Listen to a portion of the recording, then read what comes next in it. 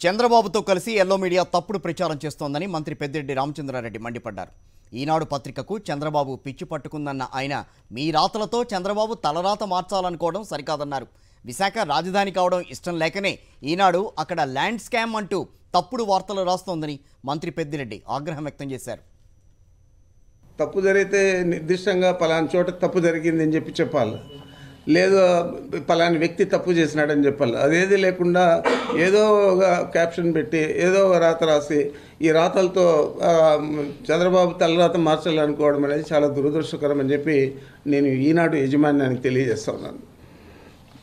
ఇంకా ఈనాడు పత్రికల్లో land scam మొత్తం అంతా కూడా వైజాగ్ రాజధాని కాకూడదు. మూడు రాజధానిలో వైజాగ్ ఒక రాజధానిగా ఉండకూడదు.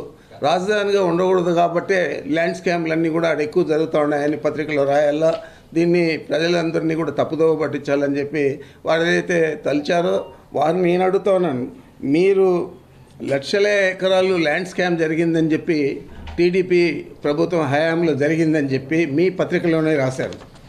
మీ- మీ పత్రికలోనే రాస్తే మరి మా ప్రభుత్వం మీద నిందలేస్తా ఉన్నారు ఈరోజు. మీరు దానికి ఏమి యాక్షన్ తీసుకున్నారు? ఏమైనా మీరు వేసిన సిట్లో ఏమైనా ప్రూవ్ అయినాయా? అలాంటిది ఏది కూడా లేకుండా ఈరోజు దొంగ ఒకడైతే ఇంకొకడిని దొంగను చేసి ఆ దొంగను దొరం చేసే విధంగా ఈ పత్రిక రాస్తా ఉందంటే నిజంగా చాలా చింతించాల్సి వస్తుంది.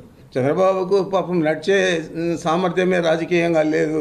మరి రాజకీయంగా నడవలేని వ్యక్తిని మీరు ఎంత పైకి లేపినా కూడా మళ్ళా చతికిలు పడిపోవడమే తప్ప తిరిగి తెలుగుదేశం పార్టీ అధికారంలోకి రావడం అనేది ఒక ఈనాడు పత్రిక కాలాన్ని మాత్రమే అని చెప్పి తెలియజేస్తా ఉన్నాను. మేము ఋషికొండ చూస్తేనే ఉత్తరాంధ్రను రక్షించినట్లు అయితే మీరెందుకు కేవలము ఒక సామాజిక వర్గానికి సంబంధించిన భూములనంతా కూడా మీరు అక్కడ విలువైన భూములుగా చేసుకోవాలా? ఇక్కడ రాజధాని ఉంటే తప్పనిసరిగా అమరావతిలో మనం లక్షల కోట్లు ఈ భూముల ద్వారా సంపాదించవచ్చు అని చెప్పి ఒక రియల్ ఎస్టేట్ వ్యాపారంతో మీ పాదయాత్ర సాగింది. పాదయాత్ర కూడా ఏ విధంగా సాగిందో మీరంతా చూశారు. అక్కడ సేవ్ ఉత్తరాంధ్ర అని వీళ్ళు అక్కడికి పోయి సేవ్ చేయనక్కర్లేదు. అక్కడ వాళ్ళు ఏ విధంగా స్పందించారో కూడా మీరు చూశారు. కాబట్టి వాళ్ళ ప్రాంతాన్ని వాళ్ళు రక్షించుకునేదానికి ఎప్పుడు సిద్ధంగా ఉంటారు. అదే ప్రతి ప్రాంతానికి కూడా ప్రాంతీయవాదం అనేది చెప్పినా చెప్పకపోయినా ఉంటుంది. వాళ్ళు మా ప్రాంతం బాగుండాలా మా ప్రాంతం బాగుపడాలి అనుకుంటారు తప్ప మీరు పోయి అక్కడ సేవ్ ఉత్తరాంధ్ర ఋషికొండ ఎక్కితే ఉత్తరాంధ్ర అంతా కూడా గోల్డ్ మయమైపోతుంది అని చెప్పి మాట్లాడడం చాలా సమంజసం కాదు.